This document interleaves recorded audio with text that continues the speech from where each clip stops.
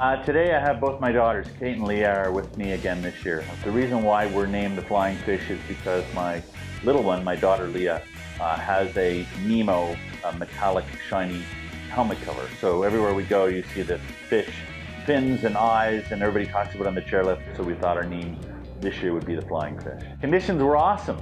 Uh, a year ago, uh, it was uh, a bit too sunny, so we took care of it and we made it a little bit cooler for everyone this year. Couldn't have been better. The new thing we did this year was to have people raise funds for us during uh, the whole period of ski day prep and lead up to the ski day through something called online giving. That's the idea that just like for a bike ride or a walk, you ask your friends and family to make a contribution, you make one yourself, and already we've raised almost $8,000 through uh, online giving alone. It's a great thing. For me and for anybody who's ever needed a hospital, the funds of course help because when you need a hospital, you need it to be there for you. And funds raised provide everything inside the hospital. We're fortunate in that the government pays for the outside of the hospital and they take care of the salaries of the incredible staff and physicians in the hospital.